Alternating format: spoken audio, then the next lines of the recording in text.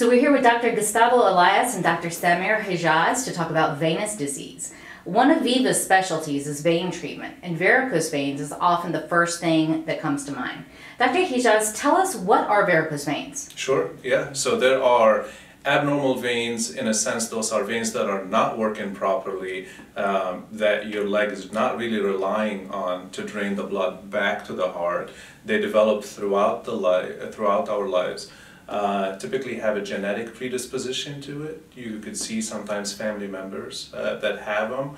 Um, they develop throughout life also due to lifestyle uh, changes, you know, being up on your feet and working long hours can, can contribute to the development of those veins that are symptomatic, uh, that not, you know, at times can be lifestyle limiting. Okay. Well. And you talked about certain careers. What are some of the careers that really are impacted and would cause varicose veins? Sure. Being up on, you know, uh, for a long time up on your feet, being a cook in a restaurant, being a waiter or a waitress, you know, we see that.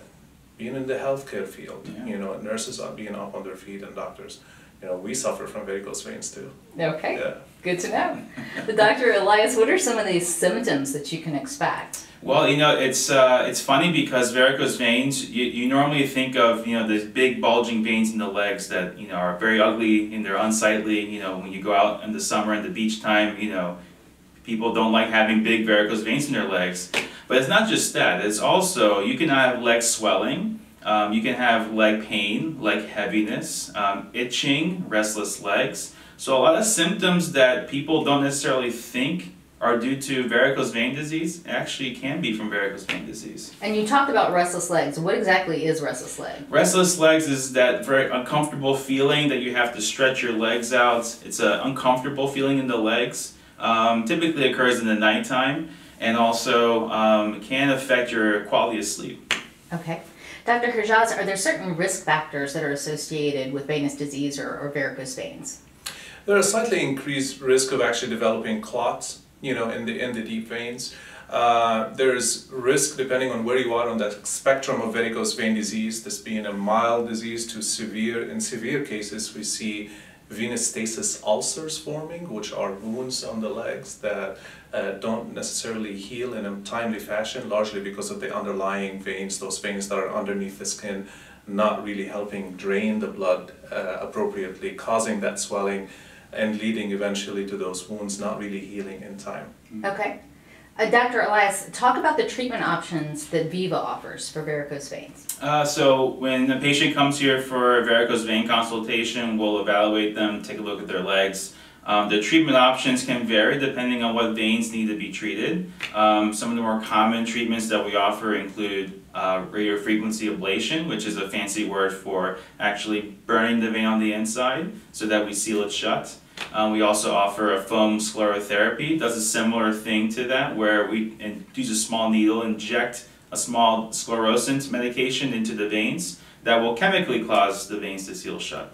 Um, and those are some of the two major options. Yeah. Dr. Hijaz, you can comment more on that. It is one of the more satisfying procedures that we actually perform, you know, in, in our field. It's just pretty gratifying to actually see the patients come back and tell us our symptoms have significantly improved. Mm -hmm. uh, but yeah, those are the main ones. It's shutting down those veins that are not working properly uh, and the body is smart enough to, to move the blood into the deeper veins that you have another set of veins that return the blood back to the heart. Okay, great. Yeah. And there's another uh, procedure, I think, is it VenaSeal? that takes place? Correct. Correct. Yeah, yeah VenaSeal is a medical grade glue that we can inject into the vein to close it shut. Um, you know, just to reassure people, it's not something we're going over to Michaels or an arts and crafts store to get. This is all, you yeah. know, very safe, very effective treatments that we offer. Yeah. Fantastic. Now, Dr. Hijaz, we're going to pull up a before and after photo and show it on the screen of one of your patients. Sure. Can you tell us a little bit about his situation and, you know, his treatment? Sure, absolutely. So this is a patient who presented to me complaining of symptoms of restless legs, leg swelling uh, in the evening uh, after being up for prolonged periods of time. And this is a typical story. This is, this is the story that we get. Um, we typically scan, screen them to see if they've had any prior DVTs or clots in their legs before we proceed with intervention. And then we order a study, an ultrasound study, to look at the veins and evaluate their function, whether they're functioning properly. Um, if we find from that ultrasound or that exam that we've done that those veins are not functioning very well, then we formulate a treatment plan. Um, and then we uh, ask the patients to go on a compression in a compression stocking for a period of time. And typically, this is where patients report back to us like, "Our legs are feeling much better. I can't stand the compression stocking for the rest of my life. Is there a definitive treatment here?" Uh, and the definitive treatment would be shutting down those veins. And essentially, what I've done is go in and glue shut those veins. Um, And that's a huge difference when you're looking at the before and after. oh, absolutely. Yeah, yeah, yeah. Significant. What was the patient's response after, or after receiving treatment? Oh, wonderful response. I mean, a few weeks later, he's he's coming in. He's shown me actually pictures of what he's you know what his legs looked like before and after, and he was also telling me my symptoms are hundred percent better. Um, we we pride ourselves in being experts when it comes to vein uh, vein treatments. Yeah, absolutely. And Dr. Elias, how long is the recovery and what can someone expect during the recovery period? Uh, recovery period, you know, we always say once the once the procedure is done, we have our patients in compression stockings uh, at least a week afterwards.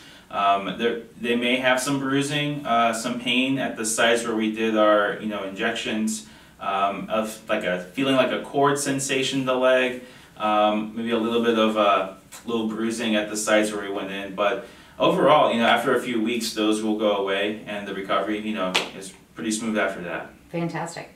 Thank you, Dr. Hijaz. Thank you, Dr. Elias, for your time today. We have an office in Richmond. We also have one in Fredericksburg. If you'd like to schedule a consultation, please call the number on the screen.